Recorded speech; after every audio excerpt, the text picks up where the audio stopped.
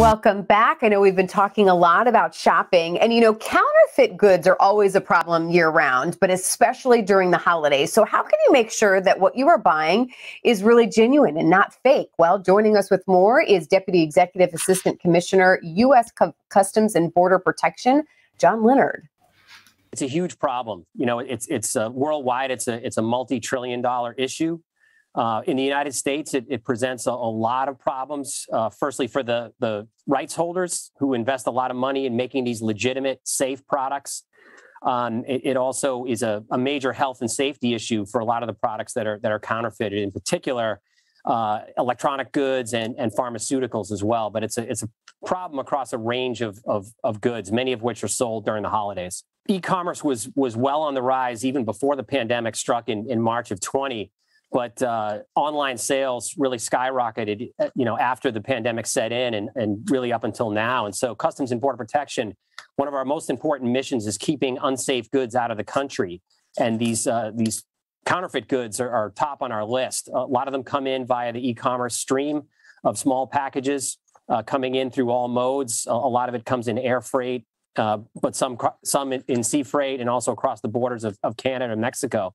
So our officers are there 24 uh, 7, 365 days a year, making sure that these unsafe and counterfeit goods don't get in. But it's really important that we need the public's help on this as, as well to, to one, tell us about what, what they're seeing and two, just being aware of, of how to avoid purchasing these goods themselves. We work with the private sector uh, on, a, on a regular recurring basis to get information about what, what fakes are now on the market, what methods they're using to, to make them and, and conceal them when they import them. We recently um, did a memorandum of understanding with the U.S. Chamber of Commerce, who represent thousands of companies, big and small. And now we're, we're sharing information, uh, the companies are doing training for our Customs and Border Protection officers uh, and specialists. And we're really just getting a lot more information uh, collectively to help um, keep the American public safe. We have a number of ways that we, we do this. Um, we have a, a, an online uh, allegation portal whereby folks can actually uh, write in when they're when they're seeing counterfeit goods or they, they know of, of these uh, criminal enterprises happening.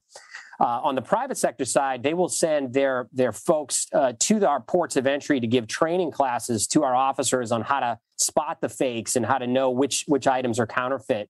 And again, as I mentioned a, a couple of minutes ago, it's a range of goods. It's it's luxury goods, watches, you know, shoes, handbags, uh, a lot of the branded items that you're very familiar with, but also consumer electronics uh, even food items um, and pharmaceuticals as well. So it's just about anything you can buy online, especially that which uh, has a branded name, can be counterfeited. So a lot of it is just is just common sense.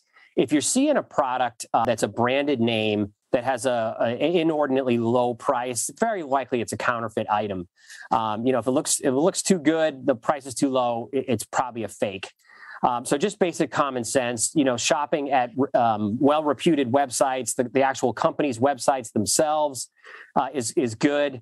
We're doing a, we have a really good fact sheet with the U.S. Chamber called Shop Safe, and and would uh, able to get that information to your viewers on how they see it. It's ten really common sense tips on, on how to avoid counterfeit. So I think if people take that those extra steps before they click, uh, you know, the buy uh, button on the website, uh, the folks getting their, their gifts are going to be a lot happier and frankly a lot safer. We've got information on cbp.gov.